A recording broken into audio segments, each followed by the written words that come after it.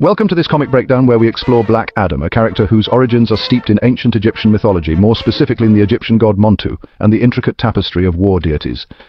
Far from just another anti-hero, Black Adam embodies the rich cultural heritage of both Egyptian and Greco-Roman pantheons. But how did Black Adam evolve from a straightforward villain into the complex anti-hero we see today? And what's the connection between his Egyptian origins and the Roman myths of old? Let's embark on this journey through cultural heritage, DC multiverse, and modern superhero mythology. Originally introduced in 1945, Black Adam, or Teth Adam, emerged as a formidable nemesis to Captain Marvel, now known as Shazam. His story, however, is far from simple. Depending on the narrative, his origins oscillate between two powerful pantheons, the Egyptian gods in comics and the Greco-Roman deities. In the most prominent version, Black Adam was an ancient Egyptian prince the wizard Shazam chose to be his champion. This wizard endowed him with powers drawn from six eminent Egyptian gods, forming the acronym Shazam.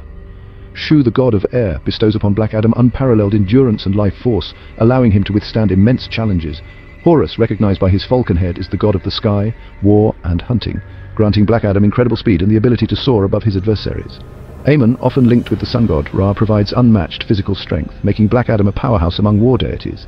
Zehuti, or Thoth, the god of wisdom and writing, blesses him with profound knowledge and strategic acumen, essential for both battle and leadership.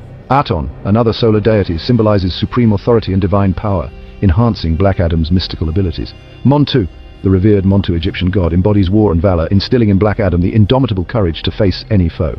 These gods collectively root Black Adam's abilities in ancient Egyptian mythology. It's important to note that over time some adaptations have swapped these gods with others, like replacing Montu with Mehen, the serpent god of protection, or altering the god associated with speed from Horus to another.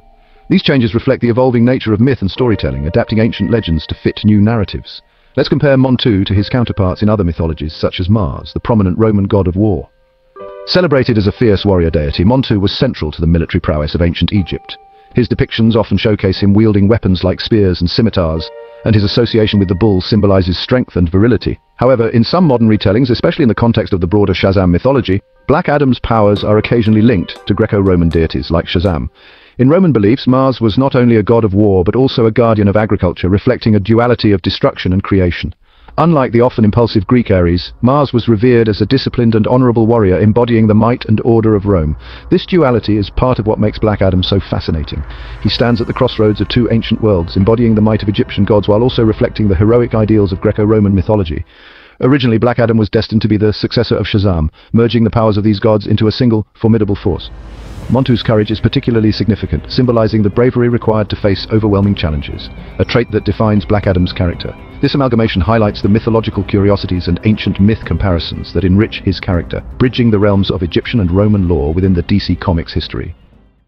Montu's role as a war god evolved, deeply tied to the fortunes of Thebes, where he was most prominently worshipped. His worship dates to the Old Kingdom, c. 2686, 2181 BCE. But it wasn't until the Middle Kingdom, c. 2055, 1650 BCE, that Montu became a central figure in Egyptian religion, especially in Thebes. He was often associated with Ra, and his connection to kingship made him a powerful symbol for pharaohs. The temples dedicated to Montu in Hermonthis, Medamud and Tod are architectural marvels that celebrate his significance among the pantheon of Egyptian gods. These structures, adorned with intricate carvings and depictions of Montu's falcon head and warrior iconography, emphasize his role in ancient history and underscore the enduring influence of myths and mythology on culture and art. These temples often depicted him with symbols of power and authority, such as the bull and the sun disk. He was often shown holding a spear or scimitar underscoring his martial attributes. By the New Kingdom, c. 1550-1070 BCE, Montu's prominence began to wane as Amun rose to become the chief god of Thebes. The Black Adam movie subtly incorporates these elements of ancient Egyptian mythology through visual cues. The film subtly nods to Montu through visual references such as statues and imagery. These touches remind viewers of the deep mythological roots that underpin the character, even as the story itself has evolved and changed over time, much like the shifting worship of Montu in ancient Egypt. Created by Otto Binder and C.C. Beck, Black Adam made his debut in the Marvel Family number one as a corrupted champion seeking domination. Over decades, DC Comics reshaped his persona exploring themes of power, justice and redemption. This comic breakdown reveals how his character draws parallels with Montu's duality of destruction and protection. Banished for his crimes, Black Adam swore revenge, leading to his clash with the modern-day Shazam. But as the character developed, particularly in the 21st century, he was reimagined as an anti-hero, a ruler who seeks to protect his people, even if it means using extreme measures.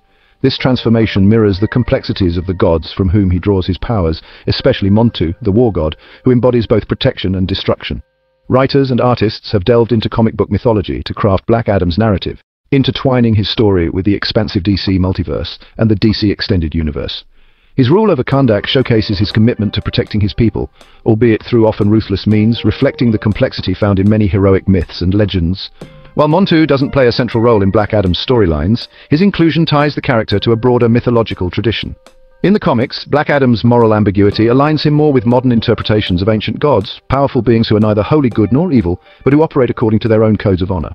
Fans have long been fascinated by Black Adam's complex morality, a trait that distinguishes him from many other superheroes. Fans appreciate Black Adam's layered characterization and his profound connections to both Egyptian gods in comics and broader mythological themes. An interesting superhero fact is his occasional alliances and conflicts within the DC multiverse, particularly his dynamic relationships with teams like the Justice Society of America and adversaries like Shazam and Superman. While Black Adam's powers stem from the Egyptian pantheon, Shazam's abilities are granted by a fusion of Greek and Roman deities, the wisdom of Solomon, the strength of Hercules, the stamina of Atlas, the power of Zeus, the courage of Achilles, and the speed of Mercury. This contrast underscores a rich tapestry of ancient myth comparisons, highlighting the diverse sources of power and virtue in superhero mythology. Shazam, the alter ego of young Billy Batson, embodies the purest ideals of heroism. He was chosen by the wizard for his moral integrity and innocence. Black Adam, on the other hand, was the wizard's original champion, chosen for his potential as a great protector. However, after being corrupted by his power and seeking vengeance, he was deemed unworthy. This sets the stage for their rivalry. Black Adam represents what happens when power is unchecked, while Shazam symbolizes the importance of virtue and restraint. The enduring rivalry between Shazam and Black Adam epitomizes the classic struggle between order and chaos, virtue and vengeance. Their conflicts echo legendary battles such as Horus and Set or Zeus and the Titans, illustrating how mythology continues to inspire and shape modern storytelling within the DC Comics history. But there's also a connection, as Black Adam serves as both a dark mirror and a cautionary tale for Shazam, some storylines even explore them as potential allies bound by their shared origins and the responsibilities of their powers. The 2022 release of Black Adam, starring Dwayne The Rock Johnson, brought this complex character into mainstream cinema, offering a fresh Black Adam movie review and sparking discussions about his portrayal. While some fans loved the film's action-packed scenes, others were divided over its storytelling. The movie had a massive budget of $200 million, sparking debates about whether it lived up to expectations. The film explores his mythological origins, adapting elements from both his comic book mythology and ancient legends. This adaptation highlights how Black Adam's story has evolved, reflecting contemporary themes of justice, power, and the consequences of vengeance.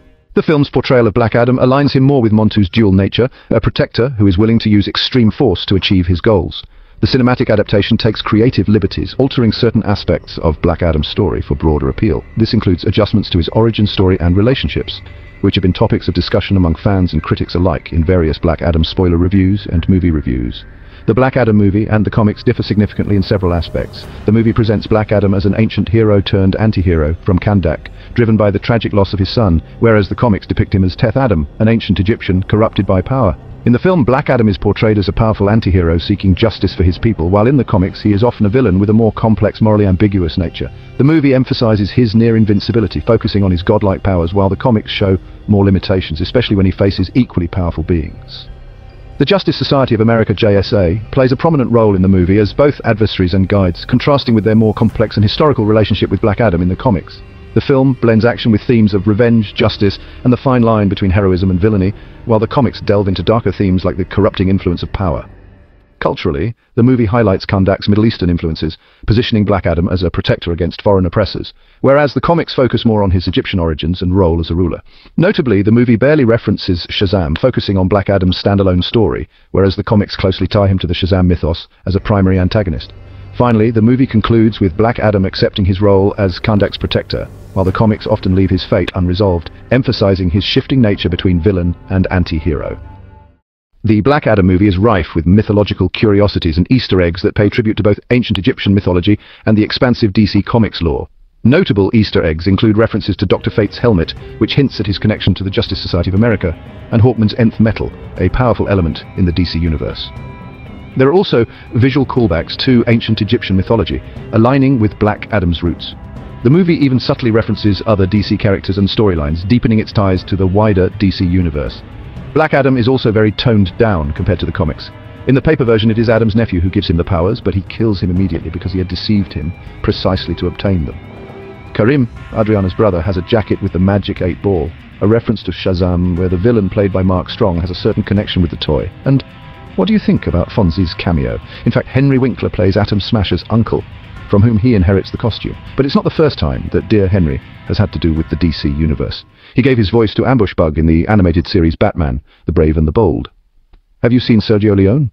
Karim is watching one of his masterpieces on TV, The Good, the Bad and the Ugly, which is also reflected a little in the character of Adam, an anti-hero like the protagonist of the film played by Clint Eastwood. Not only that, when he fries the members of Intergang with lightning, he does it exactly like Eastwood in the film. He also mimes the gun with his fingers, while the music from the film plays in the background.